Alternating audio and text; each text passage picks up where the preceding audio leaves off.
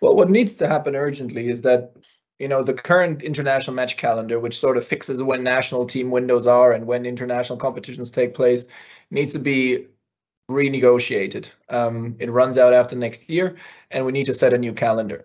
And what's happened so far is that all the conversations about restructuring the calendar are based on the ideas of improving or scaling competitions rather than focusing on okay what does a balanced calendar look like for club and national team football for domestic competitions international competitions but also for health and, and, and well-being of the players. And that's always taking the, the back seat towards the commercial interest of changing competition formats. And um, well, we're currently in talks with um, with what's called the World League Forum, which is the umbrella organization of the professional leagues, but also in talks with FIFA that for this next calendar, we urgently need some agreements around it um, to provide those minimum protections for the players. That also allows, of course, as a club to know that you have your player that you pay a salary for at full capacity, but also allows um, the player to get onto playing the national team matches, which are some of the highlights of their careers.